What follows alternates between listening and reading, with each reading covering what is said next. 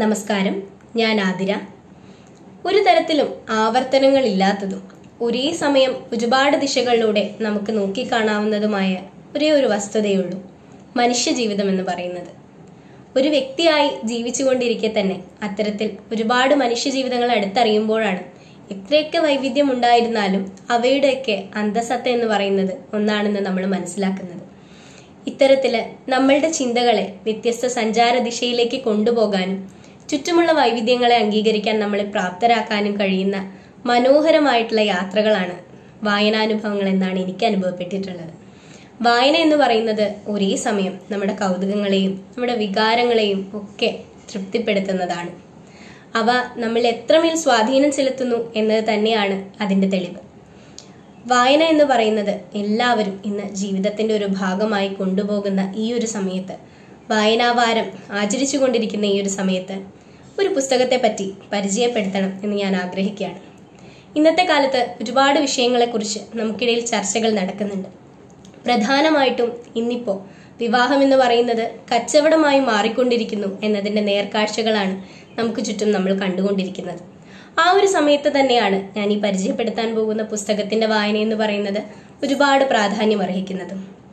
K R Meera എന്ന എഴുത്തുകാരിയുടെ സൂര്യനെ അണിഞ്ഞൊരു സ്ത്രീ എന്ന പുസ്തകത്തെക്കുറിച്ചാണ് ഞാൻ പറഞ്ഞു വരുന്നത്. കെ ആർ മീരയുടെ മറ്റ് രചനകളിലേതുപോലെ തന്നെ. ഇവിടെ ശക്തമായ ഒരു സ്ത്രീ കഥാപാത്രമുണ്ട്. ശക്തമായ ആശയങ്ങളുണ്ട്. ഉറച്ച നിലപാടുകളുണ്ട്. എവിടെയൊക്കെ കയറി ചെല്ലരുത് എന്ന് പറയുന്നു അവിടേക്കൊക്കെ ഈ ഒരു നോവൽ കയറി ചെല്ലുന്നുണ്ട്. അതോടൊപ്പം നമുക്ക് തന്നെ ചിന്തിക്കാൻ ഒരുപാട് കാര്യങ്ങൾ മുന്നിലേക്ക് എടുത്തു തരുന്നുണ്ട്. ജസബൽ എന്ന് പറയുന്ന യുവതിയാണ് ഈ ഒരു നോവലിലെ പ്രധാന കഥാപാത്രം.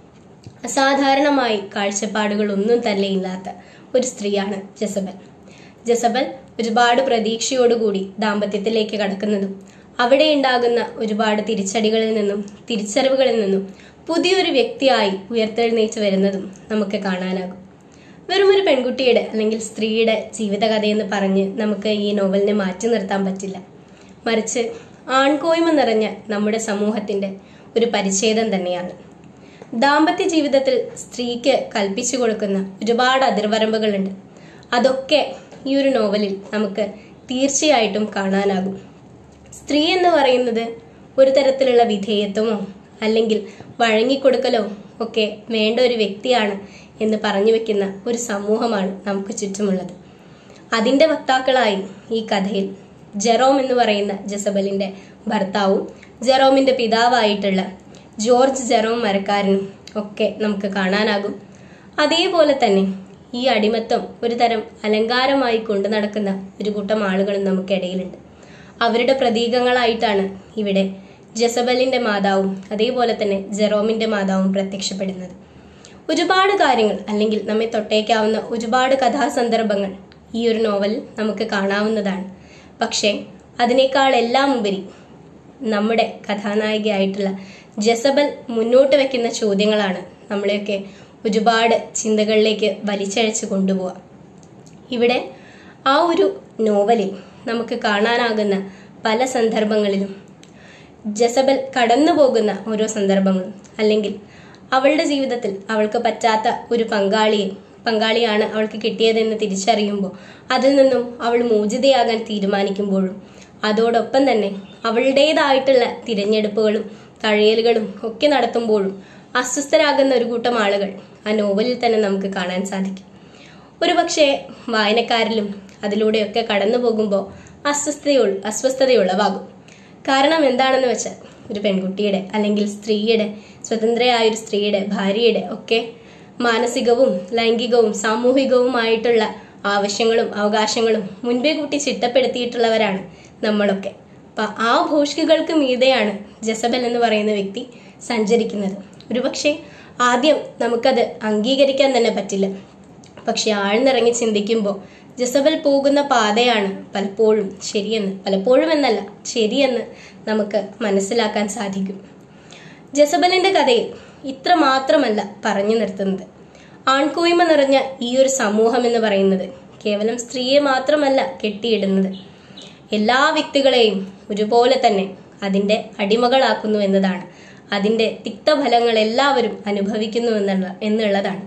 അതോടൊപ്പം തന്നെ നമ്മൾ കേവലം ഒരു എല്ലാവരെയും തൃപ്തിപ്പെടുത്തുന്ന സാമൂഹ്യ ജീവിയായി നിലനിൽക്കുക എന്നതിനപ്പുറം നല്ലൊരു വ്യക്തിയായി നിലനിൽക്കുക എന്നതാണ് അഭിമാനമെന്ന് ജസബൽ നമുക്കിവിടെ കാണിച്ചു തരുന്നുണ്ട്. അതേപോലെ തന്നെ ഈ നോവലിലെ ഓരോ കഥാപാത്രങ്ങളും അത്തരത്തിൽ ഒരുപാട് ആശയങ്ങൾ നമ്മളോട് പറഞ്ഞു വെക്കുന്നുണ്ട്. അതേപോലെ അതിലെടുത്തു പറയേണ്ട ഒന്നാണ്. ഓരോ വ്യക്തിയുടെയും തിരഞ്ഞെടുപ്പ് എന്ന് പറയുന്നത്.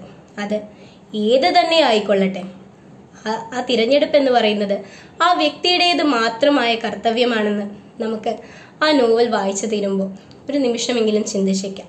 പലപ്പോഴും ആ തിരഞ്ഞെടുപ്പിന് സാധ്യമാകാത്തതാണ് പലരുടെയും ജീവിതം ഒരുപാട് തിക്താനുഭവങ്ങളിലേക്ക് കൊണ്ടുപോകുന്നതെന്ന് നമുക്ക് കാണാനാകും. അതേപോലെ തന്നെ ഇവിടെ സ്വർഗാനുരാഗം എന്ന് പറയുന്ന വിഷയത്തെക്കുറിച്ചും ചർച്ച ചെയ്യുന്നുണ്ട്. അപ്പോൾ സെക്ഷുവാലിറ്റി അല്ലെങ്കിൽ ജെൻഡർ ഐഡന്റിറ്റി എന്ന് പറയുന്നത് അത് ഉറക്കെ പറയാൻ ഓരോരുത്തർക്കും അവകാശമുണ്ടെന്നും അത് അംഗീകരിക്കപ്പെടേണ്ടതാണെന്നും കൂടി ഈ നോവൽ പറഞ്ഞു വെക്കുന്നുണ്ട്. അത്രയേറെ വായിച്ചു വരുമ്പോൾ അതിൽ എത്രമാത്രം നമുക്ക് ഉള്ളിലേക്ക് എടുക്കാൻ സാധിക്കും എന്നുള്ളത് സന്ദേഹം തന്നെയാണ്. പക്ഷെ തീർച്ചയായും അത് വായിച്ചിരിക്കേണ്ടത് തന്നെയാണ്. വായിച്ചു പോകുന്തോറും ഒരുപാട് കാര്യങ്ങൾ നമുക്ക് തന്നെ ചിന്തിക്കാനുണ്ട്. ആകയാൽ സൂര്യനെ അണിഞ്ഞു കഴിഞ്ഞ സ്ത്രീ ഇനി വിലപിക്കുകയില്ല എന്ന് അവസാനിച്ചു നിർത്തുമ്പോൾ നമ്മൾ തിരിച്ചറിയേണ്ട ഒരു കാര്യമുണ്ട്. ജസബൽ കേവലം ഒരു സംഹാരദാഹിയല്ല. അവൾ അഴിച്ചുപണികൾ നടത്തുകയാണ്. സമത്വവും സ്വാതന്ത്ര്യവും നിറഞ്ഞ അല്ലെങ്കിൽ അതിന് അതിർവരമ്പുകളില്ലാത്ത ഒരു സമൂഹത്തിന് വേണ്ടിയുള്ള നല്ലൊരു അഴിച്ചുപണി. ഇത് വായിച്ചു തീരുമ്പോൾ വായനക്കാരായിട്ടുള്ള നമ്മളുടെ ഉള്ളിലും ഉയരുന്നത് അതിനു വേണ്ടിയുള്ള ചോദ്യങ്ങളായിരിക്കും നമുക്കുള്ളിലും തുടങ്ങുന്നത് അതേ അഴിച്ചുപണികൾ തന്നെയായിരിക്കും. നന്ദി.